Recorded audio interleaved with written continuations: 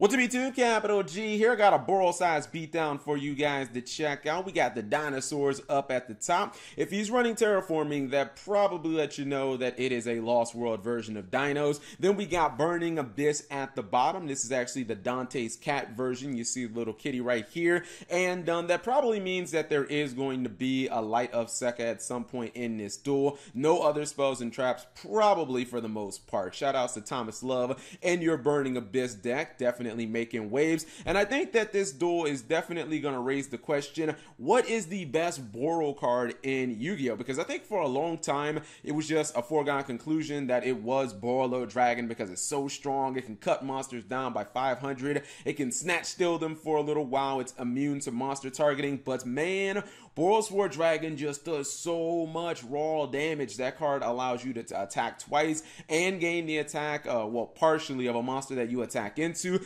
Borrelsword Dragon is a huge battering ram, and I thought that Borreload Dragon was that, but uh, no, nah, Borrelsword Dragon puts out way more damage. So let's see what Burning Abyss are up to. He did special summon um, Cir, which uh, I guess that was his only. Was that his only play? He's going into Cherubini. The thing is, his Cir can't activate. Was that already a mistake? I feel like that might have been a mistake. Maybe you special summon Farfa and then normal summon the Cir, but I guess it's okay because he's getting Graff's effect anyways. Get Scarm on board, then goes for Farfa Farfa. Now he has the ability to drop Dante, and uh, he gets to search during the end phase. This is not a bad uh, board. He does go neg one, but he has Cherubini. He also has uh, Lady B to possibly drop like a um, I don't know Fairy Tale Snow in the graveyard or something as a disruptive play. But dinosaurs are going to fight back. Miscellaneous Saurus into Oviraptor. Lost World's going to put a token on board. There goes that Fairy Tale Snow, and that's going to drop what is that Giant Rex in the grave. He does have Double Evolution Pill, and I believe he's going to send the token to the graveyard to send Baby Saurus uh, or to destroy it. Okay, so now he's getting a bunch of monsters on field. He has four. Now, I don't know about this, man.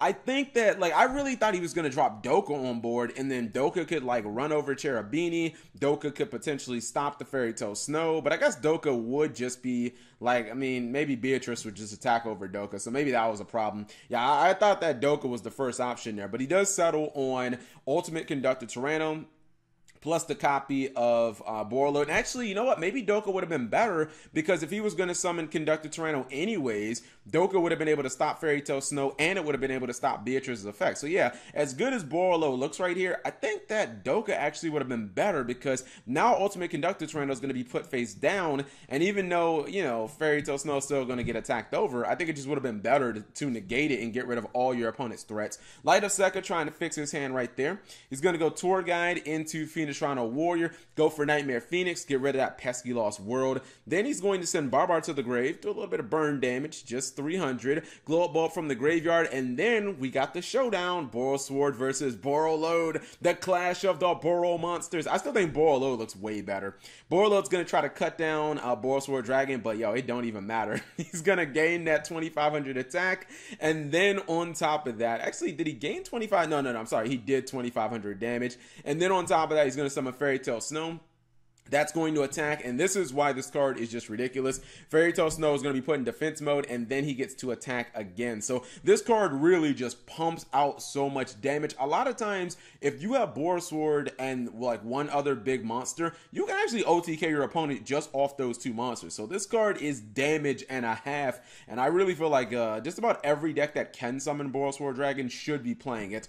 Borreload put up a good fight, but I actually think that, you know, now that I think about it, him still being able to use the Ultimate Conductor Tyranno, I think that I would have settled on Doka. I would have negated Fairy Tale Snow. I don't believe he could have possibly summoned it again, but I feel like he would have used his entire hand plus his Beatrice on field, and at that point, what would have been the point? I think that um, him summoning Doka instead of Borlo Dragon would have allowed him to get his conductor through. He would have been able to negate Snow, negate uh, Dante, or excuse me, uh, Beatrice at that point, and I think it would have been fairly okay at that because then he could have just popped this Doka to put whatever the tour guide play was. He could put the monster face down because keep in mind that Conductor Tyranno doesn't target or anything. So he would have been able to put the Borrelsword Dragon face down and I think he would have been okay. But I don't know. Maybe it's a hypothetical and maybe I'm wrong about the play. Anyways, hopefully you guys enjoyed this short little duel. If you did, give the video a thumbs up. Thank you guys for watching. As always, subscribe if you have not already and turn on that notification bell for daily videos.